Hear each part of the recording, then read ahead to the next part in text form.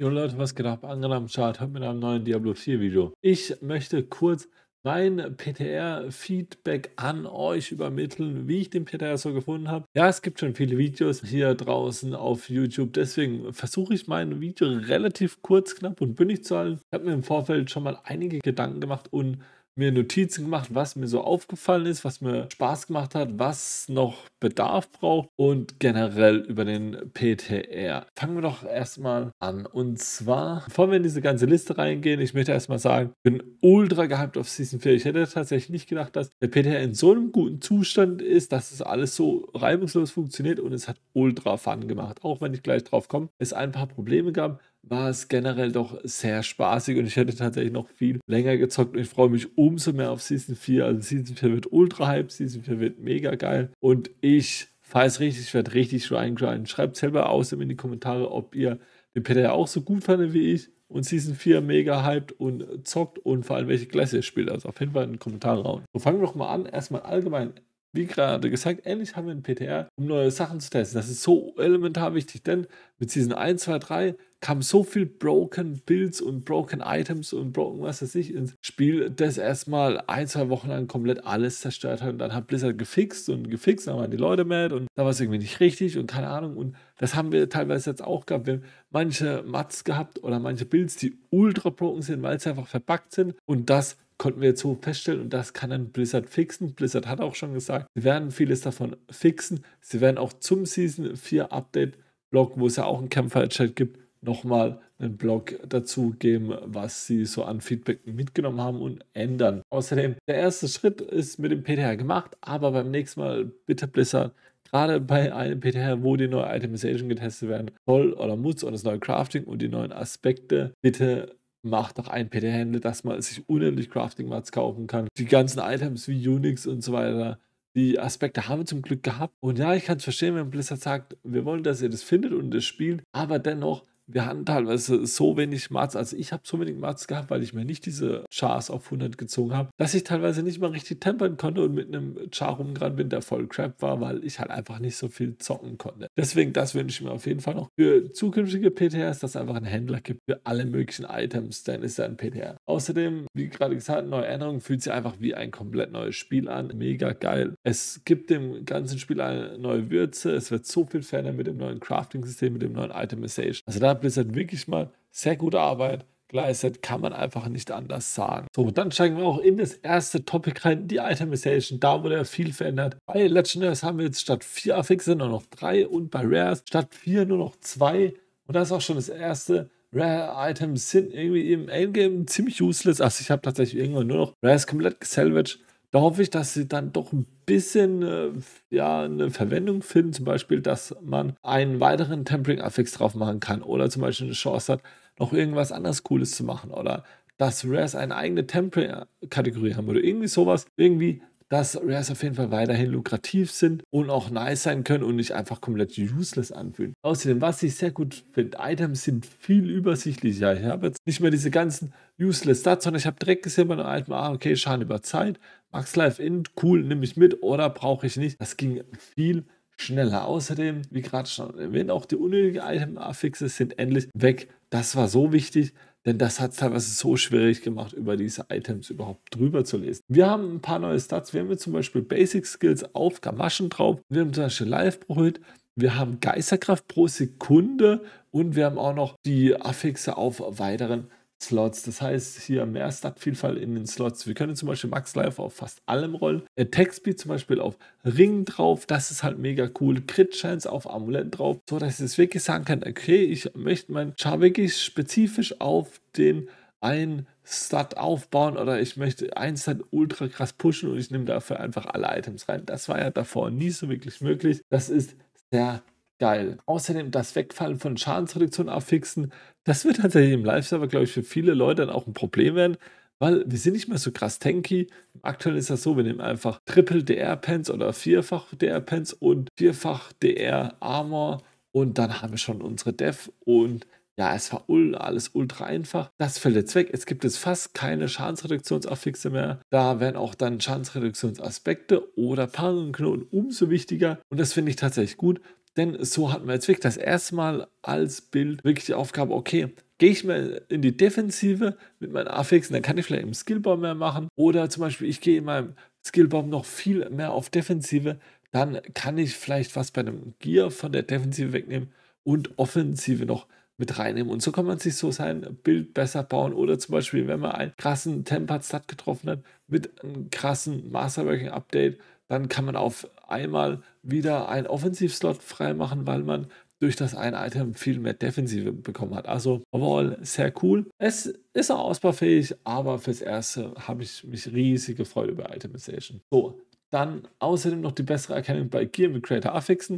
Creator Affixe können ja droppen und das sind Affixe auf einem Item einhalten mal so gut wie bei einem normalen Item. Das heißt zum Beispiel statt 10% Attack Speed 15% Attack Speed auf einem Item. Das wird aber aktuell noch nicht so gut erkannt. Blizzard hat auch schon als Feedback gesagt, jo, wir versuchen irgendwie dass da so eine andere Farbe reinkommt oder so ein Legendary Beam oder sowas. Deswegen bin ich mal gespannt. So, jetzt beim Tempering, also die Basis ist geschaffen. Es ist ein sehr cooles System. Aktuell sind es noch ein bisschen wenig Rezepte, aber wie gesagt, es ist der Anfang. Blizzard hat auch schon gesagt, es kommen noch mehr Crafting-Sachen rein oder noch mehr Systeme rein, die quasi mit dem Tempern agieren werden. Deswegen, da bin ich mega gespannt. Sie können in Zukunft auf jeden Fall mehr Rezepte einbauen. Zum Beispiel pro Season können Sie einfach ein neues Rezept einbauen und das, das automatisch immer wieder größer und breiter wird. Da bin ich mega gehypt. Es ist außerdem ein aufregendes System, wirklich um euren Bild weiter zu individualisieren. Bestes Beispiel, ich will komplett auf Rabies, also Tollwut gehen. Das heißt, ich hau alle meine Template-Affixe in Schal über Zeit rein. In Tollwut-Schal, in Tollwut, Cooldown Reduction und so weiter. War ja davor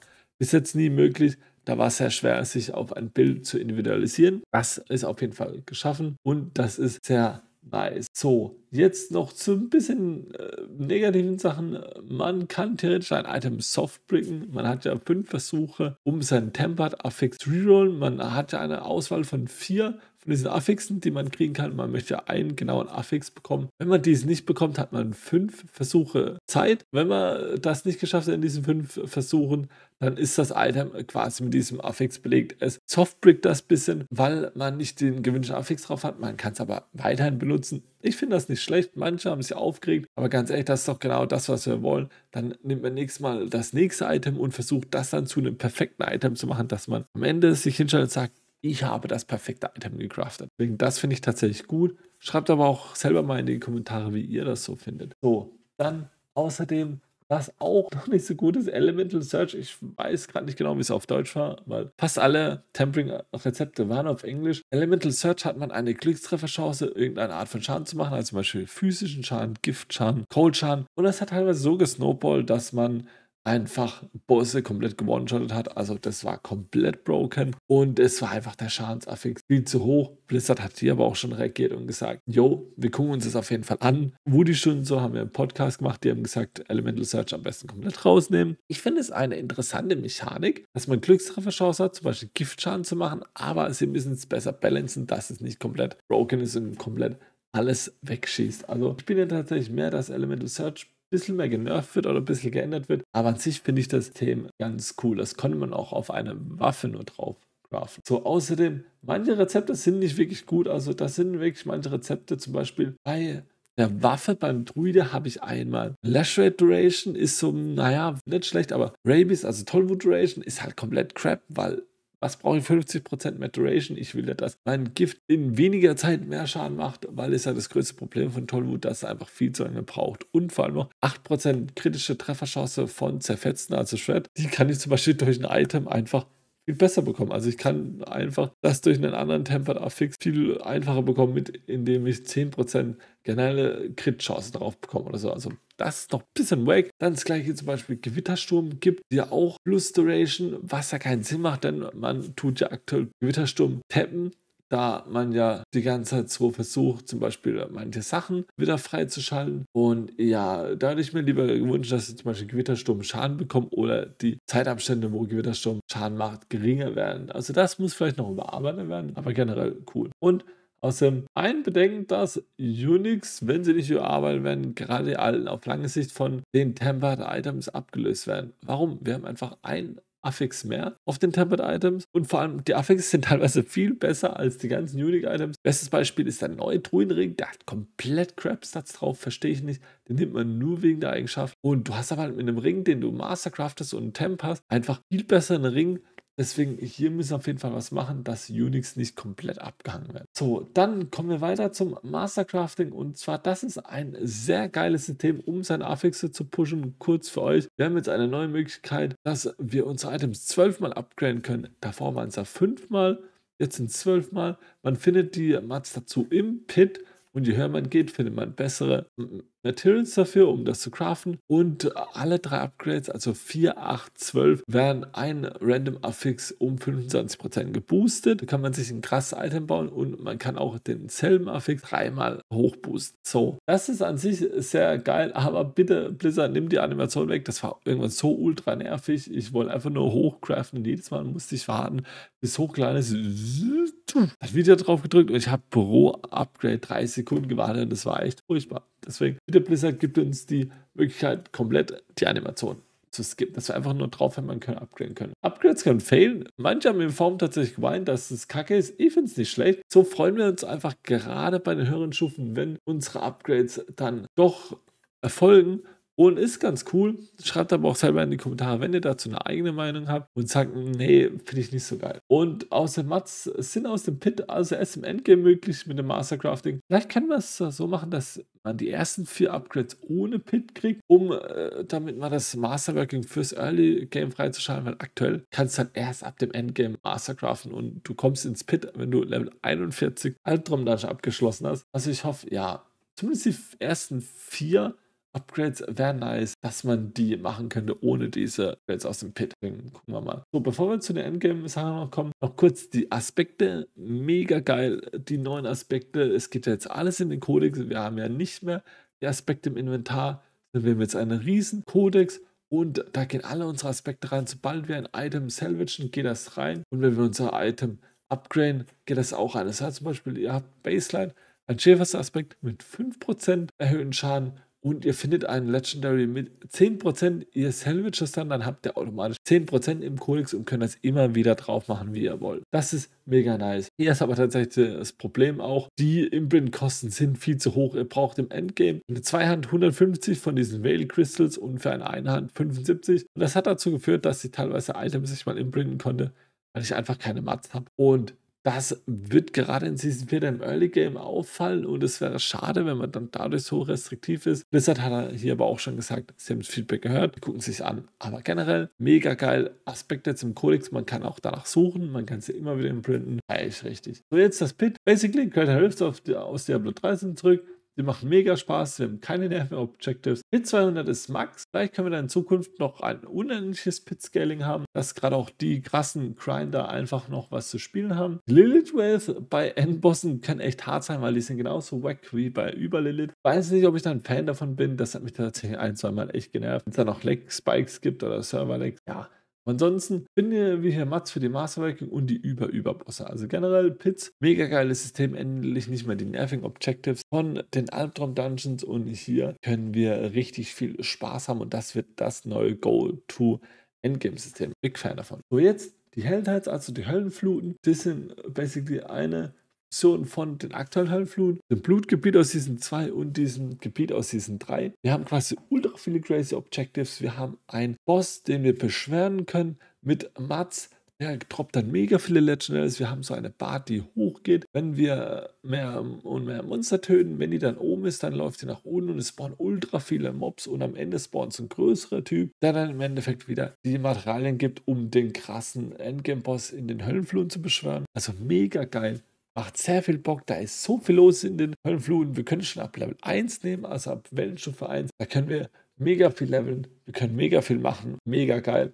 Es ist ein sehr guter Farmspot auch für Legenders und so. Endlich kein Dopamin-Tanz mehr. Schreibt hier auch gerne in die Kommentare, was ihr davon haltet. So, jetzt die Über-Über-Bosse. Nur kurz, ich konnte die nicht wirklich machen. Ich habe mir aber das Feedback von den anderen Conan Gradient zusammen geholt. Und zwar nur der erste Über Überboss droppt ein Spark. Das ist ein bisschen schade. Boss-Mechaniken, finde ich, machen noch nicht genügend Schaden dass sie für manche Builds wirklich schwierig werden, sondern es sind teilweise halt nur so, ja, Health Sponges, also das heißt, sie haben ultra viel Life, aber man killt sie nach einer Zeit und man kann die beschwören, indem man die Mats aus dem Pit hat und es droppt wohl nicht wirklich viel mehr. Also man hat, glaube ich, vierfachen an Mats-Kosten wie normale Überboss, aber es droppt, glaube ich, nur zwei oder drei Items mehr. Weiß ich nicht. Müsste man vielleicht noch überarbeiten. Und jetzt zum letzten, da gehe ich auch noch kurz drüber, weil es ja nicht für alle von euch interessant ist. Druiden-Balancing an sich, Klassenbalancing kann ich jetzt nicht so viel sagen. Ich kann nur sagen, dass viele coole neue Builds entstanden sind beim Druiden generell. Wenn das Companion Life noch gefixt wird von den Wölfen, dann ist auf jeden Fall mega yay. Da haben wir ein mega geiles neues Bild. Wölfe an sich machen ultra viel Schaden, gehen richtig ab. Gefährden an sich machen mega viel Schaden, da ist jetzt 1 zu 1 eure Stats bekommen. Es gibt super viele coole neue Builds, dank den Tempered und den Skilltree-Änderungen. Wir haben jetzt puren Hurricane-Bild, wir haben jetzt einen Companion-Druide, wir haben einen Companion mit einem Mixed-Druide, wir haben einen Gewittersturm-Companion-Druide. Das ist sehr cool, freue ich mich sehr drauf. Außerdem Lashhead, also Zerreißen, die Ultimate braucht immer noch einen Buff, macht immer noch zu wenig Schaden. Die neue innere beste Legendary Note ist tatsächlich schlechter als davor war, weil diese 5 Sekunden für 10 Stacks sind einfach viel zu hoch. Da müssten, wenn dann für 10 Stacks 20 Sekunden sein oder weniger Stacks für 5 Sekunden. So Tollwood Arabies benötigt wirklich krasses Gear-Investment und Unix das Bild erst im Endgame viable ist, also X-Files zum Beispiel. Also tatsächlich lohnt sich Tollwood wirklich erst, wenn ihr diesen ganzen Schaden über Zeit, dann diese ganzen Tempered Affix drauf habt, coole Reduction und so Unfall und X-Files. X-File kann ja eure Schaden über Zeit Effekte explodieren lassen. Deswegen vielleicht noch ein möglicher Buff für Raby Schaden, dass er auch mehr im Midgame viable ist. Aber schauen wir mal, ich kann immer nicht so recht einschätzen,